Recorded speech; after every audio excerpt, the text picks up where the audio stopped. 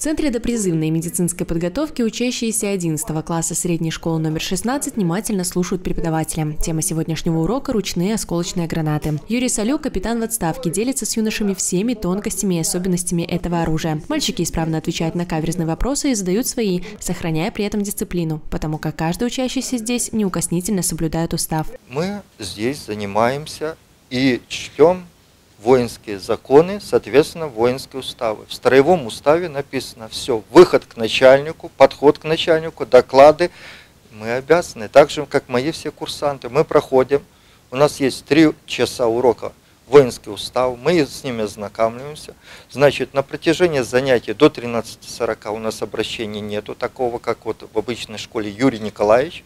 Есть только два. Или товарищ капитан в данный момент, или товарищ подполковник мой коллега, или товарищ преподаватель. Они дети за школой, за территорией центра они учащиеся, в центре они курсанты. Они должны подчиняться уставу. А превыше всего, я им сразу говорю на первом же занятии, порядок и дисциплина. Занятия проводят не только за партой в компании преподавателей и учебников, много времени уделяют практике. Мы взводом тренируемся вот в строевой, в сборке магазинов, как вы раньше видели.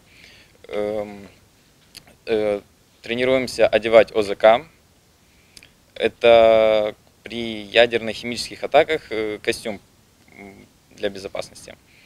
Э, потом учим уставы, строго живем, вот э, пока мы в центре находимся, мы строго живем по уставу. Открыть центр допризывной медицинской подготовки на базе средней школы номер 27 решили не случайно. Это единственное учреждение, где сохранился ТИР. В таких условиях возможности основательно изучить азы военного дела у ребят намного больше. И первыми, кто опробовал потенциал центра, были учащиеся 27-й школы. Поначалу было немножко трудно влиться в этот режим, который э, представила школа, но со временем ты вливаешься и понимаешь, что это очень важные и нужные навыки обретаешь в этом центре. Все э, подчиненные мои, так как я являлся командиром отделения, все мои подчиненные оставили самые положительные впечатления об, этой, об этих шести учебных днях. Да, обучение в центре осуществляется по блочно-модульному принципу, а значит весь учебный материал, предусмотренный на год, изучается в течение всего шести учебных дней. В течение лета был подобран преподавательский состав – можно похвастаться. У нас допризывную подготовку ведут и медицинскую люди, которые имеют и педагогическое образование, допризывную и военное образование, медицинскую и медицинское образование. То есть все люди с высшей с высшим образованием. Всю неделю учащиеся вникают в азы воинского искусства или оказания первой медицинской помощи. Шесть уроков по 45 минут у девочек проходят не менее продуктивно, чем у мальчиков. Они практикуют введение внутримышечных и подкожных инъекций, могут с легкостью измерить артериальное давление или поставить банки. Нам очень интересно получать новые знания именно здесь. А, мы с удовольствием приходим на каждое занятие и принимаем новые а, учебные методики. Большой вклад в внесла наш э, преподаватель э, Елена Николаевна Плотская. Именно она научила нас правильно выполнению всех техник, э, всех правильных построений. И я думаю, что каждый ученик вынесет из данного медицинского центра нужные знания для оказания медицинской помощи при любой ситуации в жизни. Мне очень нравится здесь, что здесь много практики у нас, то есть не все чисто на теории. Мы сами можем ощутить это, подготовиться к этому.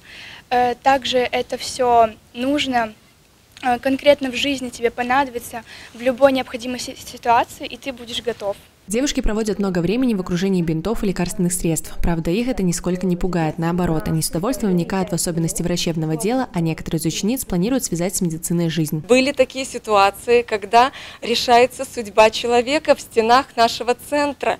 Э, ко мне подходили мои ученицы, которые заканчивали этот центр да, в течение шести дней и говорили, что Елена Николаевна, все-таки мы решили, что мы будем поступать в медицинский университет, мы хотим стать врачами, а, нам здесь очень понравилось, вы рассказывали интересно, вы нас заинтересовали, завлекли и, а, скажем так, наставили на путь жизненный. И, конечно, это очень приятно слышать любому педагогу, когда ребенок выбирает а, твою какую-то близкую тебе специальность и решается судьба человека. Плюсов у такого центра до призывной медицинской подготовки много. В будущем их станет еще больше, ведь развитие центра только началось. Перспектива развития есть. Сейчас мы работаем над созданием своего сайта. Вот. И далее мы надеемся, что мы выйдем на более высокий уровень, пока это на уровне вот администрации Ленинского района. Мы приглашаем Московский, у них есть свой центр, там немножко другая организация работы, они занимаются патриотическим военным воспитанием без проведения уроков. Поэтому, если им интересен будет опыт, они могут изучить.